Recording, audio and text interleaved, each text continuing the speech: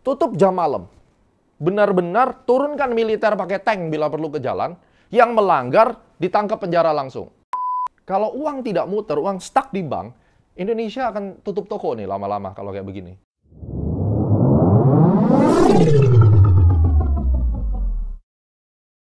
Tradepreneur, kita tahu Indonesia saat ini sedang dalam kondisi yang benar-benar susah untuk semua orang. PPKM harus dilakukan, tetapi rakyat butuh makan. Kalau seandainya kita berpikir bahwa PPKM ini kalau tidak dilakukan COVID akan naik, tingkat kematian akan tinggi. Bagaimana juga kita berpikir kalau PPKM tetap dilakukan tanpa adanya subsidi kepada masyarakat dengan benar, maka masyarakat juga akan mati kelaparan. Ini yang menjadi satu wacana.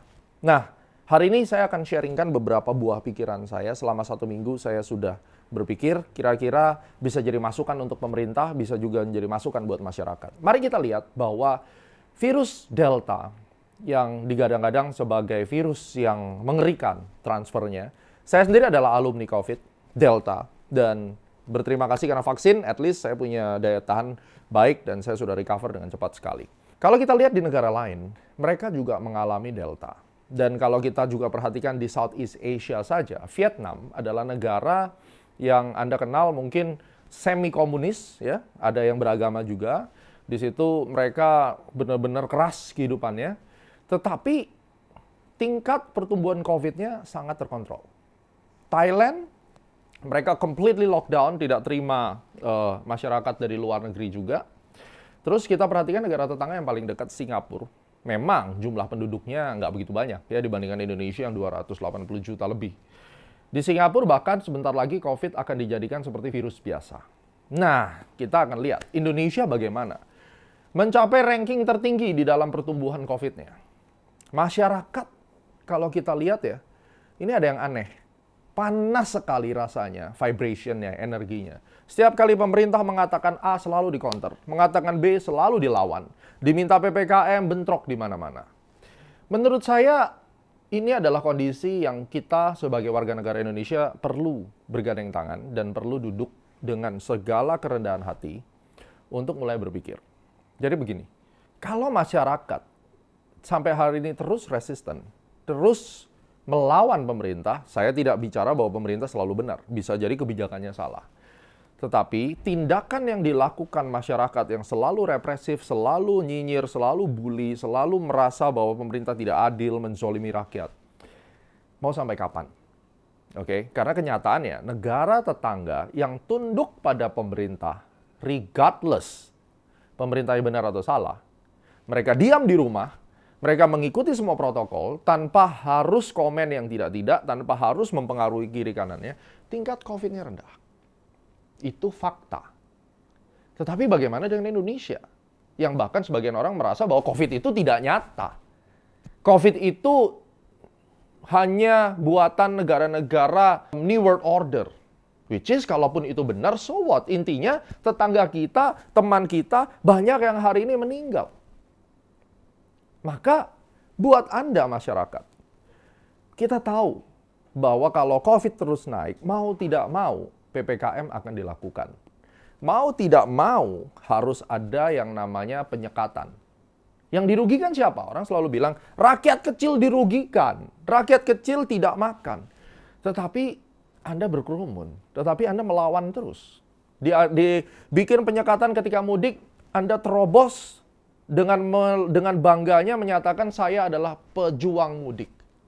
Kita lihat di Arab Saudi, tempat ibadah ditutup, masyarakat taat karena lawan kita ini tidak terlihat. Di Indonesia, tempat ibadah dinonaktifkan, pemerintah menzolimi umat.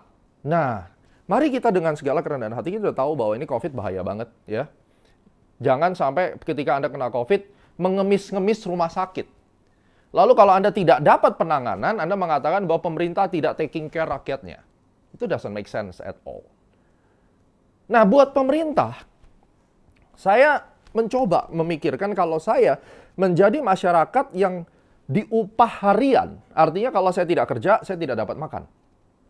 Oke? Okay?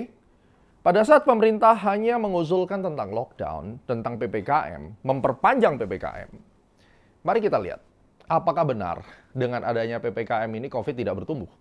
Itu yang pertama. Yang kedua, apabila kita mempelajari dari tetangga sebelah, ataupun kita mengacu kepada plan daripada Pak Jokowi awalnya, herd immunity, maka ya sudah, jalankan saja herd immunity.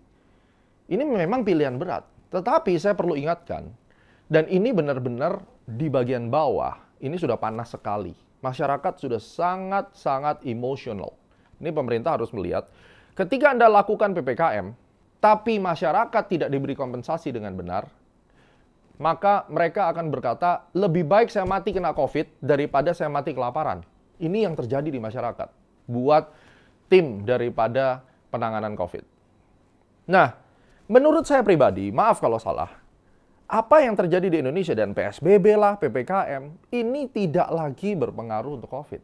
Kalau Anda mau benar-benar membuat COVID ini berhenti, sekalian kita lakukan seperti Itali misalnya pada saat itu, dengan cara apa? Tutup jam malam.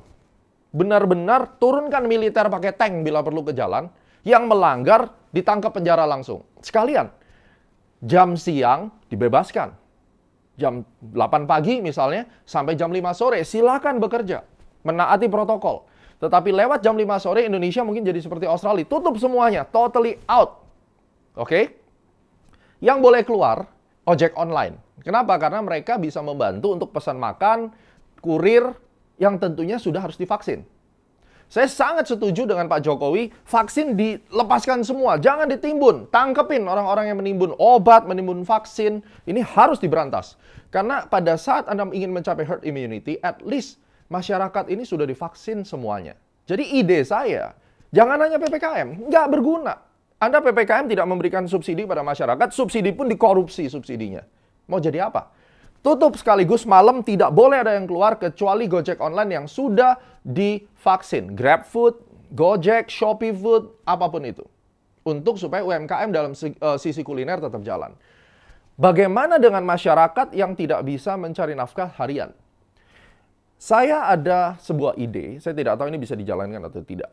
Di Indonesia minimum ya, kalau saya bilang minimum itu ada 10 juta sampai 20 juta orang yang menurut saya hidupnya sudah tidak terganggu lagi dengan COVID. Artinya tingkat kekayaannya itu untuk spend satu bulan 50 juta pun sudah bukan lagi masalah.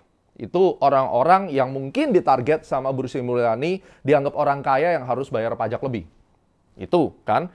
Nah, bagaimana ide saya kalau orang-orang kaya ini diajak untuk menyumbang atau memberikan kontribusi atau donasi kepada negara Misalnya satu orang wajib pajak, dia membayar 5 juta, 10 juta, 1 juta, 500 ribu, 50 juta, 500 juta, berapapun amount-nya, dikelola oleh swasta, oke? Okay? Kalau karena mereka mungkin tidak percaya dengan aparat uh, aparatur negara karena tanda kutip mereka curiga ya, dicurigai bisa dikorupsi atau disalahgunakan.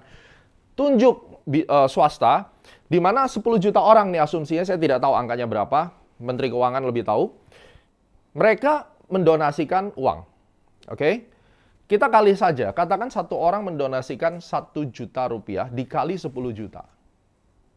Ini akan sangat berguna untuk secara langsung memberikan bantuan kepada orang-orang yang memang upahnya harian.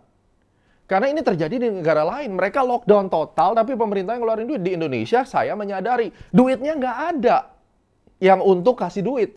Maka, gap kaya dan miskin yang terlalu jauh ini, masyarakat juga harus tahu. Jangan egois. Selama dua tahun terakhir, saya spending banyak sekali untuk beli makanan di luar, beli ini, beli itu. Dengan pemahaman, dan saya sudah ajak di Youtube, supaya ekonomi muter, UMKM jalan. Kalau uang tidak muter, uang stuck di bank, Indonesia akan tutup toko nih lama-lama kalau kayak begini. ya Minimum ada rakyat lah. Jadi Seandainya kita berkata bahwa orang-orang dikeluarin uang 1 juta, 5 juta, lalu benefitnya apa? Kalau saya mau saya mengeluarkan katakan 50 juta, tetapi ini menjadi uang muka pajak. Itu fair banget. Jadi dengan saya mengeluarkan 5 juta, saya mengeluarkan 10 juta, nanti akan didata bahwa saya sudah mengeluarkan uang muka pajak dan mungkin didiskon. Jadi pajak ada diskon 5% atau 10%, uang ini secara langsung dari orang yang kaya kepada orang-orang yang benar-benar hidup berdasarkan upah harian. sembako didistribusikan, obat didistribusikan, vaksin dilaksanakan. Nah, dengan ini yang dilakukan, saya percaya masyarakat akan makin mencintai pemerintah. Kenapa? Karena buat um, aparat negara, buat pemerintah, buat Pak Presiden, Anda pasti tahu bahwa situasi sedang memanas. Dan saya bisa sampaikan, situasi memanas ini sudah masuk ke dalam perusahaan-perusahaan. Karyawannya mulai resah walaupun mereka dapat income. Tetapi setiap keseharian energi yang terbangun ini sangat negatif.